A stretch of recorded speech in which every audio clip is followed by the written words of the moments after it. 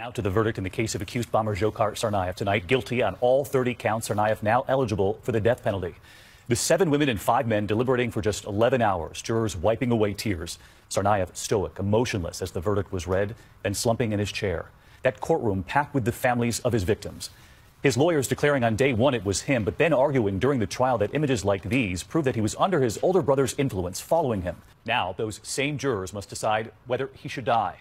ABC's Tom Llamas in Boston tonight. Nearly two years to the day after Dzhokhar Tsarnaev and his brother committed the worst terror attack in the United States since 9 11, the 21 year old now facing death row. In court today, victims and their family members there to watch, like Liz Norden, her sons standing right next to Dzhokhar Tsarnaev on Marathon Monday when he planted his bomb. They both lost a leg um, below the knee. I really don't know too much because it's just so overwhelming. It's like a nightmare. Outside of court today, she made it clear she wants Tsarnaev to die. For myself, I, I, I want to see the death penalty.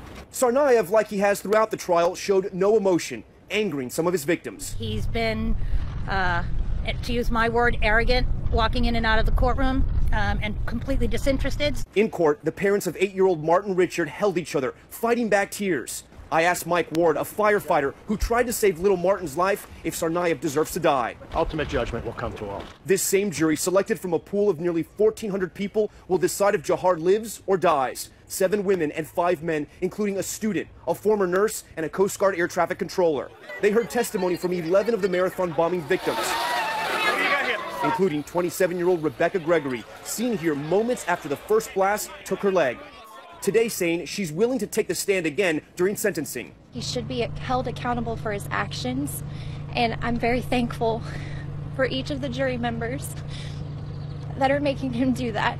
Tonight in Boston, this image white roses on Boylston Street. This trial, a marathon of pain for victims. It's not over, but tonight they can see the finish line.